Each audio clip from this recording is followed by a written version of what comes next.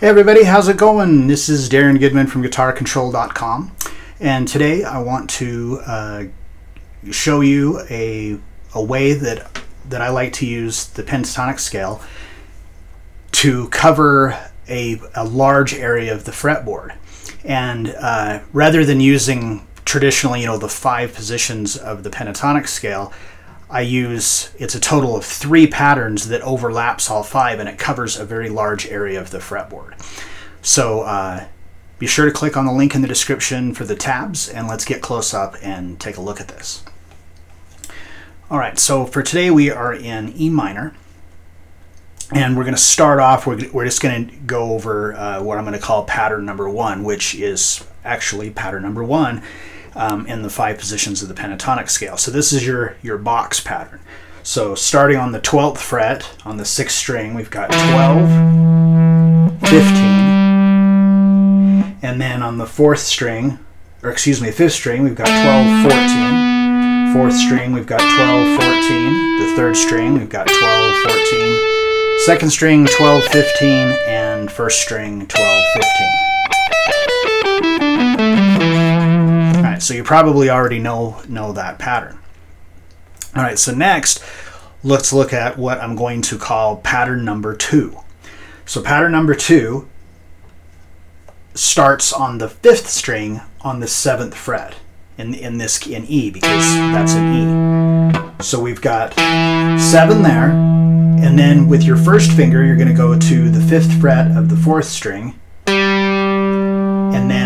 to the seventh fret of the fourth string with your third finger, and then the ninth fret also with your third finger. Then from there, we move to the third string, to the seventh fret with your first finger, and then the ninth fret with your third finger. Then we're going to move to the eighth fret of the second string with your first finger, and then the tenth fret with your third finger, the twelfth fret with your third finger, then to the 10th fret of the first string with your first finger, and then finally the 12th fret with your third finger.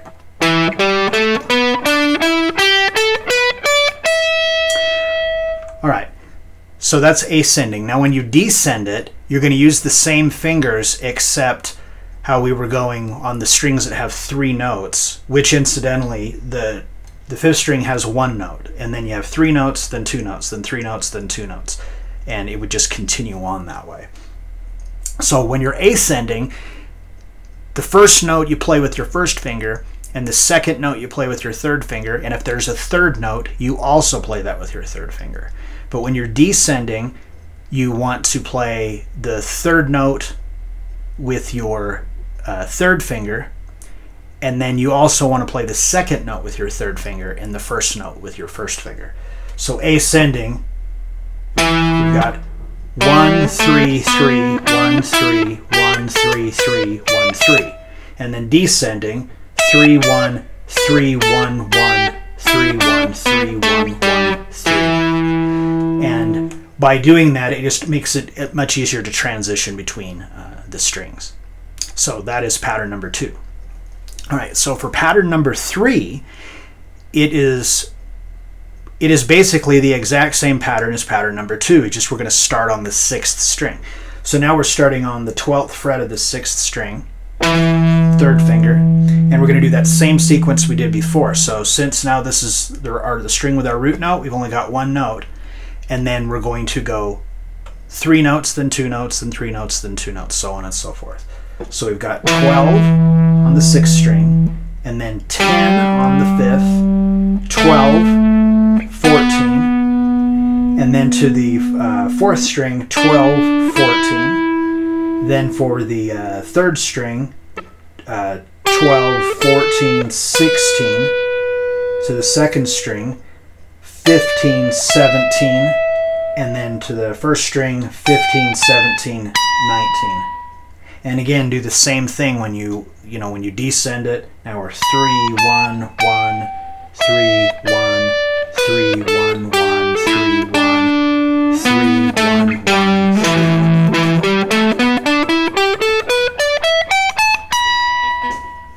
All right, so by using uh, these three patterns, I'm going to show you a way that you can kind of hook them together.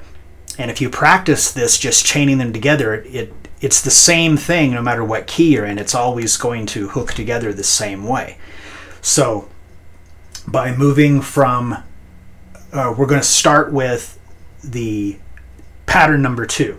So in the key of E, we start with pattern number two. We're going to start on the seventh fret on the fifth string, and we're going to ascend all the way up that pattern.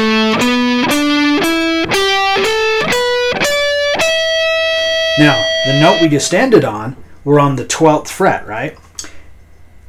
If we now move our hand up so your first finger is on that 12th fret instead of your third, and then that leaves you free to use your fourth finger, your third finger, whatever's more comfortable for you. If I'm in a lower key, I always use my fourth finger, but when I get up here, sometimes I use my third just because of space.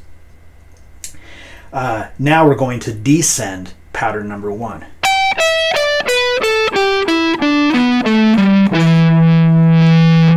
So let's look at that whole thing we just did again. So we're starting back here on the seventh fret, which was an E, moving up.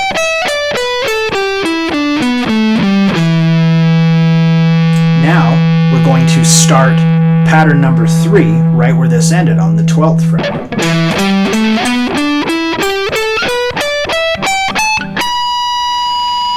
So now what we've done is we've ended here on the 19th fret. We started here on the 7th. We moved back to the 5th. So we've just covered that much of the, uh, the neck.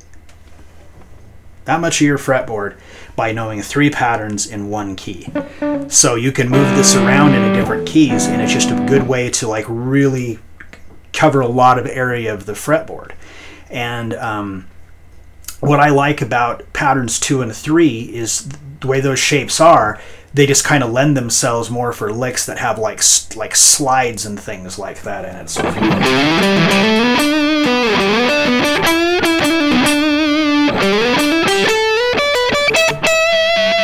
Whereas the uh,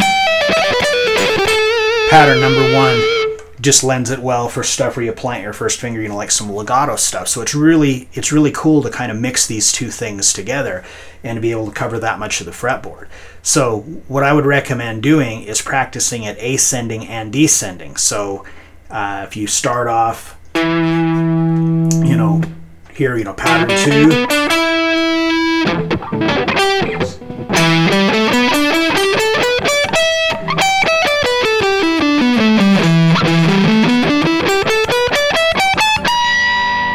Now, descend it.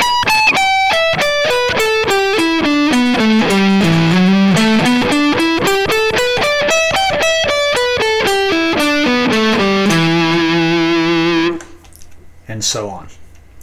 All right, so uh, I uh, hope you enjoyed that and got something out of it. Uh, I, I've been doing this, like connecting these three patterns together. You know, it's been kind of a staple of my playing for, I mean, a long, long, long time. Uh, the what I'm calling pattern two and three, there's a lot of Tony Iommi uh, licks that are kind of that's kind of just how he plays, and I got the idea from that, and then um, the one of my very first guitar teachers uh, showed me uh, a scale pattern uh, like that, and then it just you know it kind of all went from there. Um, so if you uh, enjoyed that and got something out of it, you know, give me a give me a like on the video. Be sure to subscribe to the channel. Um, and until next time.